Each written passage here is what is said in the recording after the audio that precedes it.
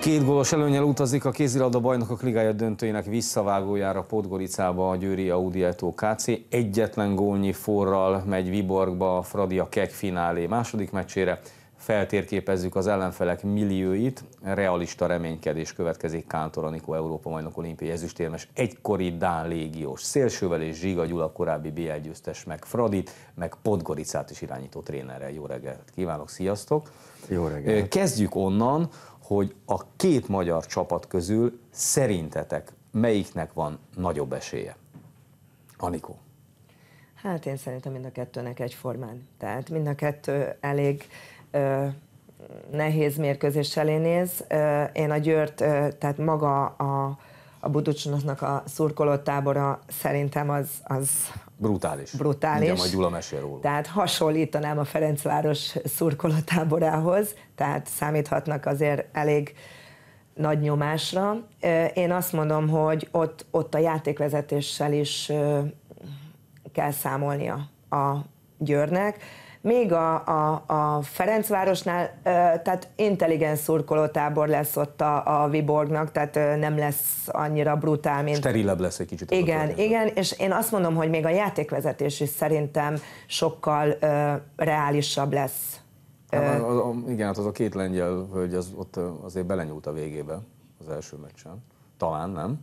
Nem, pont a Ferencváros mérkőzést nem láttam, uh-huh. a Győr meccset azt, azt, azt láttam, de hallottam, hogy játékvezetésé.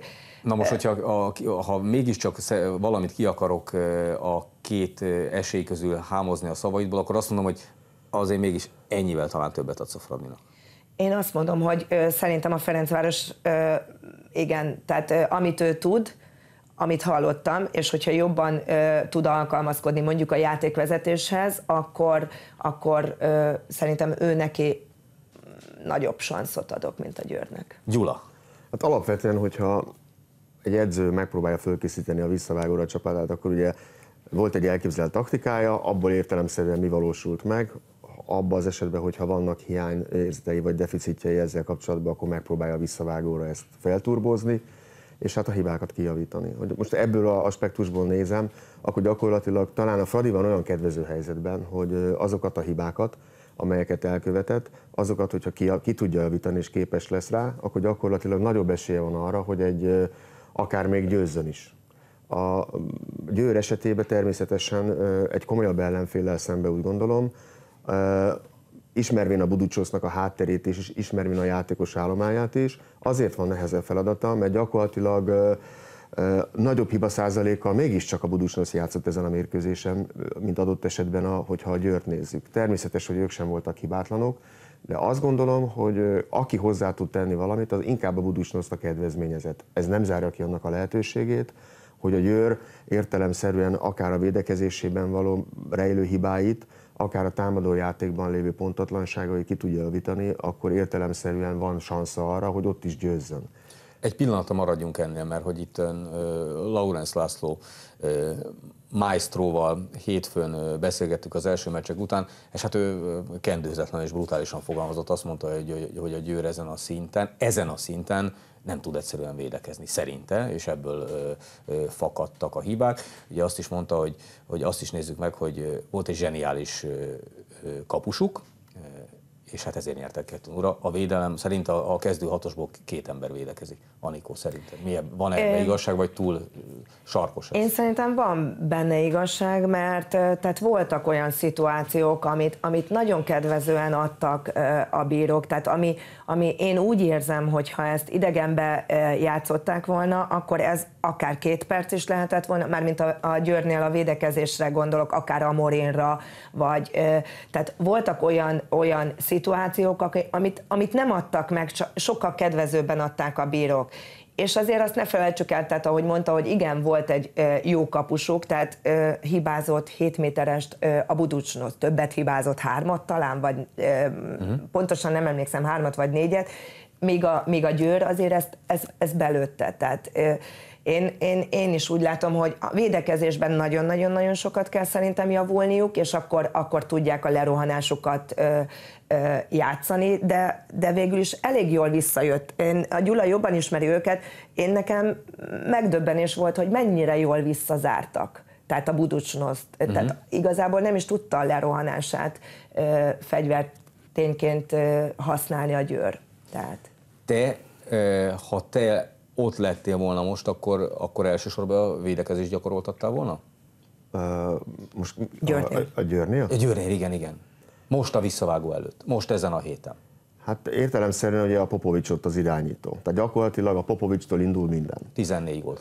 Ha megfigyeltük, Akció. akkor 80%-ban a, a Ludusosnak a támadása mindig bal, balról érkező húzásból, illetve Popovics ráindul a falra, ott a Cvics vagy az a, a Gyokics beáll középre a két hármas közé, és abból vagy lő, bejátszik, vagy megy mögött a Bulátovics. Tehát 80%-ban ez volt az alapjátékok, és ezt bontogatták és feszegették. A Popovics ezekből lőtte a góljait. Értelemszerűen van olyan intelligens, hogy látja, hogy kinyílik a fel előtte, akkor végigviszi, ha nem, akkor továbbadja. A hibapont ott volt, hogy még a beállót meg megtalálták, de a Bulátovics az nem tudott betalálni. Tehát ilyen 15-3, vagy nem tudom milyen volt a góllövő százaléka, tehát potenciálisan abba is van még valami, hogyha ő fölkészül jobban, és hát nem védik ki a személy gyakorlatilag a Haraldsen, akkor az is veszélyt jelent. A Győr esetében viszont azt gondolom, hogy a támadójáték nagyon nehéz, mert nincs olyan balkezes átlövője, tehát a Grossz nem is volt pályán, úgy tudom, és befele a Győr a jobb oldalról nem tudja építkezni, tehát hogyha megoldja a Budusnost az Amorin, hogy úgy mondjam, lökke kapcsolatot, ami számára egy könnyebb lehetőség, úgy gondolom, mint fordított esetben, akkor gyakorlatilag van szansza arra, hogy könnyű gólokat tudjon hozni. Uh-huh. Értelemszerűen Amorinban is van még a Görbének a góljai, aki szintén világklasszis teljesítményt nyújtott, volt, nagyon jó, ő igazából szélső pozícióból lőtte, 7 méteresből és leruhanásból. Tehát gyakorlatilag a felállt védelemmel szembeni játék, ha volt egy, maximum kettő olyan közbelövése, ami, ami, ami tényleg szenzációs és egyéni prioritását mutatja, de gyakorlatilag nem a csapatjátékon belül is csapatjátékra épül. Bocsáss meg Gyula, még annyit, mert hogy az idő rohan, még annyit mondjál, mert amire már Anikó is utalt, és neked van egykori, és nem is olyan nagyon régi tapasztalatod a Podgorica kispadjáról, ennek a bizonyos Moracsa csarnoknak a pokoli légköre. Mesélj már nekünk erről valamit. Hát a, a közelt múlva már teljes mértékben átalakult ez az egész dolog. Értelemszerűen egy 5000-es csarnokról van szó, mint ahogy most olvastam a Predrag Boskovics az elnöknek a nyilatkozatát, hogy ha akár 15 ezeret is el tudtak volna adni, most már adják a jegyeket pénzért, tehát eddig ingyen engedték be őket. Az, hogy most kb. olyan 150-200 rohamrendőr lesz kirendelve, illetve 100-200 olyan rendező, aki gyakorlatilag vigyáz a rendre. Tehát a játékosok teljes mértékben biztonságban vannak, tehát ilyen, hogy dobálnak befele bármit, ez az, az ilyen már nincsen őket már meg is büntette az EHF ezért az elmúlt időszakban. A, de borzasztóan sportszerűtlenek, tehát fütyülnek folyamatosan, tehát fülsiketítő hangzavar van, és ami igazából újszerű az, hogy borzasztó rendezett, tehát vesznek mindenféle ilyen színes papírokat, és akkor az egész egy ilyen U alakú a, a csarnoknak a nézőtere, és az egész nézőtéren rendszeresen megy egy ilyen játék, hogy a kék-fehér színeket mindenféle aspektusban mozgatják, tehát össze van hangolva az egész szurkoló sereg. A várvárik azok a, először úgy, úgy helyezkednek el, hogy a, a Budusnosznak a kapuja mögött vannak, és azt követően ugye térfél cserélnél, hát az őrületbe fogják kergetni ott a, a győri védelmet a többek között, mert azok iszonyatos hangerővel és dobbal. Aha, aha. Milyen szerencse, hogy van egy jó hűvösvérű északi kapus, nem? Akinek a háta mögött majd ott lesznek a, a, a, a balkáni szurkolók. És akkor itt viszont ugorjunk vissza Skandináviába, Viborg, ez a Viborg játékerejét, illetve, és akkor most a Fradi Kekellen feléről beszélünk. Milyen, mennyire komoly csapat most szerinted, amikor? Én azt mondom, tehát végül is a Dán kézilabda az nem egy bonyolult kézilabda, tehát leegyszerűsítve alapjátékokkal, viszont a technikai tudásra építenek. Én azt mondom, hogy szerintem a Jurák az, aki a lövőerőt, illetve a Scott, aki a lövőerőt képviseli ott, jó beállóval rendelkeznek, tehát ő, ők igazából az egyéni játékokra alapoznak, és egy nagyon-nagyon-nagyon agresszív védelemre. Tehát a Dán kézilabda az, az, az igazából a védelemből indul ki, és abból való lerohanás. Tehát én azt mondom, hogy ha ezt felmeri vállalni a Ferencváros, tehát hogy, hogy számít arra, hogy nagyon agresszív lesz a, a védelem, és akkor ezt át tudja törni gólokkal, akkor ezt a lerohanást meg tudja akadályozni, és akkor én szerintem neki nagyobb sansza lehet. Uh-huh mert hogy a Fradinál valószínűleg ugye a higgadságra meg lesz szükség, meg arra lesz szükség, hogy, hogy fizikálisan végigbírják, nem? Persze, hát ugye ezt többször hallottuk már, hogy ilyen szinten nem, nem sok játékos tudja ezt a teljesítményt hozni, tehát gyakorlatilag olyan, olyan a kerete a Ferencvárosnak, hogy, hogy van maximum egy-két cseréje. Alapvetően visszatérve erre a kérdésedre, azt gondolom, hogy a Juráknak a, a mélységben való távoltartása egy külön feladatot hoz majd a Fradi védelmére, hogy a többieknek a, a játékban való szerepvállalását is meg kell fogni. Ebb, ebből adódóan volt a Skovnak, illetve a Fjargörnek és a többi játékosnak nagy lehetősége arra, hogy gólokat tudjon lőni.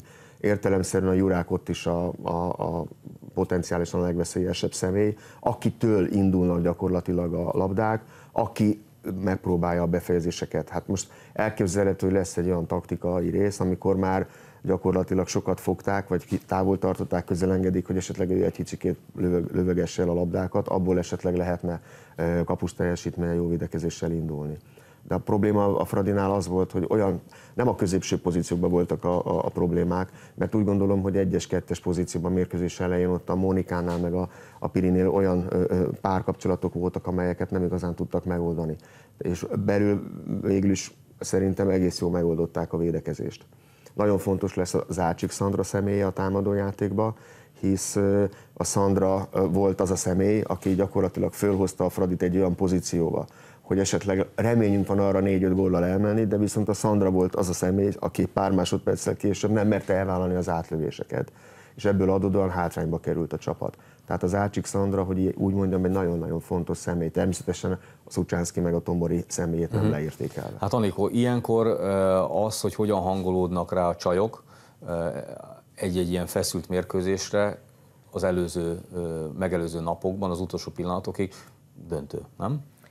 Így van. Nem csak a játékról beszélünk, hanem, hanem a, a lelki részéről, meg a fejről azt tudom, hogy a, a dánok hogy készülnek fel rögtön, tehát egész héten, tehát a mérkőzés előtt kielemzik, ugyanúgy, mint a magyarok videó, videó alapján. És utána mindenki kap maga egy papírt, amit az edző készít el, mentálisan készíti fel a játékosokat, és lebontva persze posztokra, ez úgy van ö, ö, leírva, hogy igazából akár a Mónikának ö, mire kell figyelni a vele szembe lévő játékosra, és ez így, így súly, súlykolva van Tehát neki. megkapja a pszichológiai képét a szemben állónak. Így igaz? van, és az ő neki egy ilyen három oldalba le van írva, és azt, azt olvasgatnia kell. Tehát mentálisan is készülnek arra, és erre fel van hívva a, akár a játékvezetőkre is a figyelem, tehát hogy tehát minden le van írva papíron, és ezt, ezt ők olvassák folyamatosan, már a videót is úgy ezzel a papírral mennek, tehát amikor a mérkőzés előtt a legutolsó videót végignézik. Tehát ők mentálisan kőkeményen felkészülnek ezekre a mérkőzésekre. No, hát a végére értünk, akkor majd meglátjuk a hétvégén, hogy nekünk közép-európaiaknak, kézilabdába, lányoknak az észak vagy a dél kedvez jobban, vagy akár mind a kettő. Hát szorítsunk nekik, itt a Digi Sporton majd mindkét döntőt láthatják a nézők. Köszönöm szépen, hogy itt voltatok. Köszönjük.